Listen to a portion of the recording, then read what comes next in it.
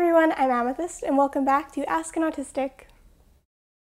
I want a renaissance to shine a light, be the change we want, set things right. We've been waiting in the dark for so long.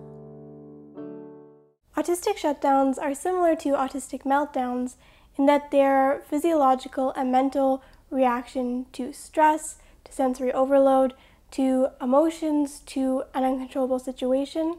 Basically, any negative sensory input that overwhelms and overloads your brain. Shutdowns are similar to and sometimes interconnected and intertwined with disassociation. Disassociation can occur in non autistic and autistic individuals, and it's a brain's method of self protection when there's too much going on. It's a self preservation technique to withdraw and, and save yourself. Some autistics who experience shutdowns will also experience disassociation at the same time or at different times and in different degrees. Not every autistic will experience disassociation though.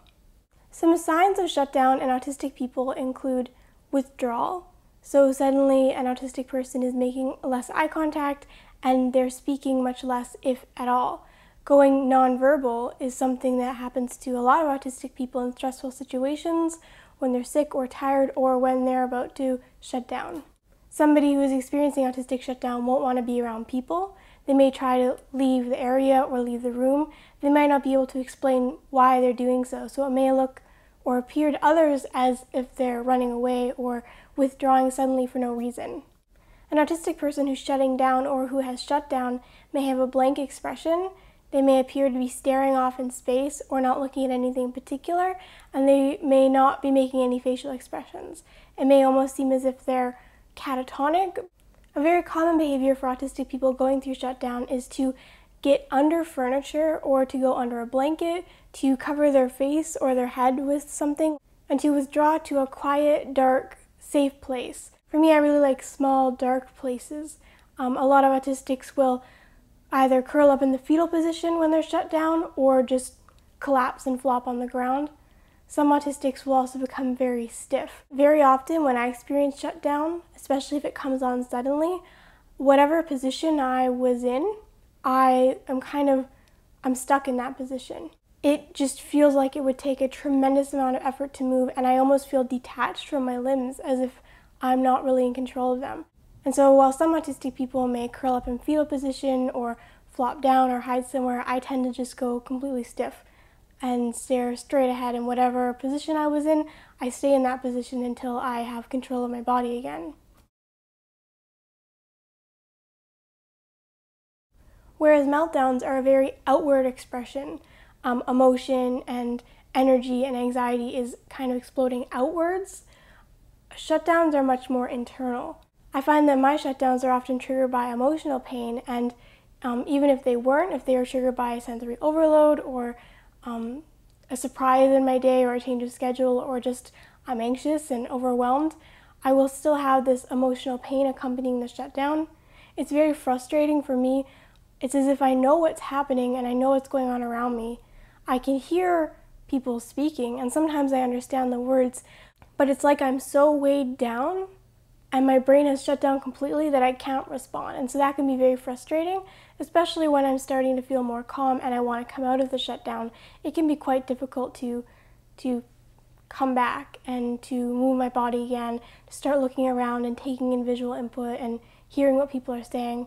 Some autistic people have something called alexithymia, and that's where you have trouble identifying or feeling the emotions that are going on inside you. So you might know that you feel bad. You have a vague feeling or you know that you feel bad, but you aren't able to identify exactly how you feel bad. Are you angry, jealous, frustrated, sad? Some people with alexithymia can't identify what they're feeling in the moment at all. Only later will they maybe be able to identify it. I'm speaking of alexithymia because it's connected to shutdowns. I find that a lot of autistic people who experience alexithymia will not know that they're at the point of shutdown until they get there, which is quite frustrating. And autistics with alexithymia may have trouble coming out of their shutdowns, and their times of shutdown may last longer, and the recuperation time after may take longer than other autistics. My husband Marvin is autistic, and I've never seen him experience a meltdown, but I have seen him shut down. And for him, um, when he shuts down, he both experiences some alexithymia and shutdowns. So, what he describes it as feeling like is just empty or stuck. But when he's shutting down or when he has shut down, the main symptom is a very pervasive difficulty difficulty in, in listening to what other people are saying, difficulty in speaking or responding, and in moving his body or motivating himself.